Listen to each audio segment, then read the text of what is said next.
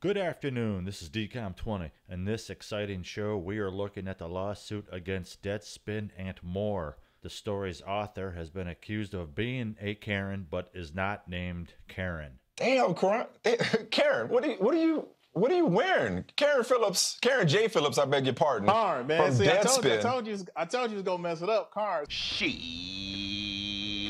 Karen Phillips. Phillips graduated from Syracuse University and has appeared on women's programs that discuss race, sports, and politics. He has also worked at other publications besides Deadspin. He's the senior columnist for the Shadow League, where he tackles sports, race, and politics. Mm. Please welcome Carron Phillips. This story was published by Deadspin and written by Mr. Phillips. When the child's parents allowed Deadspin and Phillips to remedy the situation without a lawsuit, Deadspin and Phillips doubled down on their bad choices. Because of this, Deadspin was sold to a foreign man who bought it because he was in the gambling business, and Deadspin already had gambling news. Phillips graduated from the Newhouse School of Public Communications at Syracuse University. As an Orangeman, Mr. Phillips was required to pass a diversity class to graduate. The university does not mention a required class on libel law.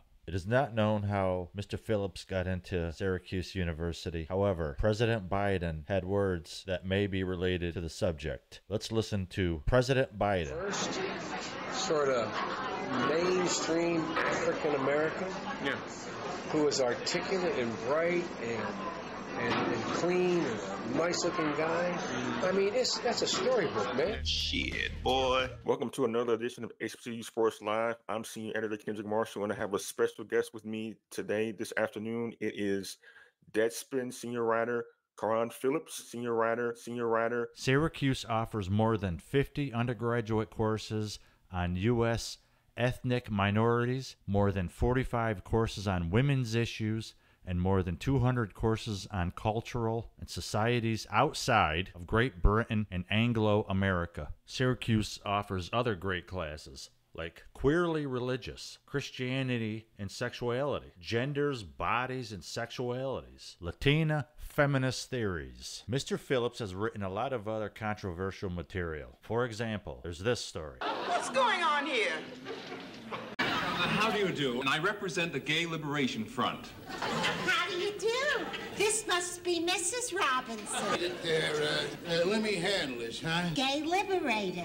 Step aside, will you, huh? Excuse me, get lost.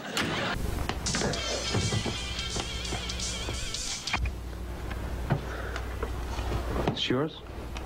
No, I, Your mother said she found it in your closet. I don't know. One of the guys must have. Must have what? Look, Dad, it's Where not. did you get it? Dad, I- Answer me. Who taught you how to do this stuff? you all right? I learned it by watching you. That liberalism is a mental disorder.